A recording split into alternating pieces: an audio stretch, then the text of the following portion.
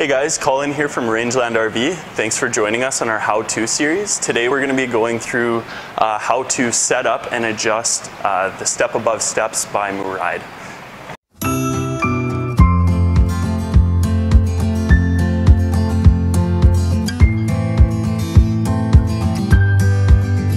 These steps are becoming really popular in the RV industry. Uh, reason being, they offer you a ton of stability for people with mobility issues, things like that, and kids. Um, they're great, but they are a little bit different to set up than your traditional steps. Um, so we're going to go over a couple of tips and stuff here to help you set them up when you get out to your campsite. Uh, so the first thing we want to talk about, uh, it's very important, is make sure that your door is all the way open before you try and bring your steps down.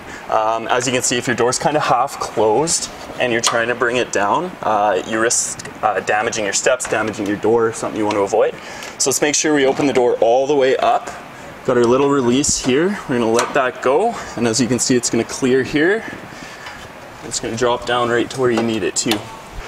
Okay, so as you can see, the way that we have this set up right now, uh, you are very flush here uh, between the top part of your steps, the flange, uh, and your door frame. Uh, what that's going to allow you to do is close your door nice and easy. You're not going to get any resistance. Um, but as we know, when we get out to our campsites, it's not always the most level.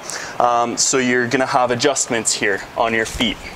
So let's go ahead and throw a block under here and make this nice and uneven. You can see you got a big gap up here at the top, uh, and your one step isn't, or your one foot isn't going to get all the way to the ground. So obviously now your door isn't going to close and your steps aren't stable. So what we're going to do here is we're going to just pop out these pins, and you have the ability to slide your feet up and down. Slap that pin back in there.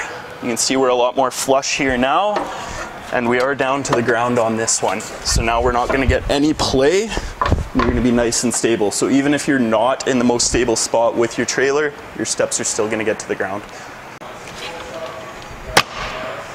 Thanks for watching our how-to video on how to set up and adjust the MorRyde steps.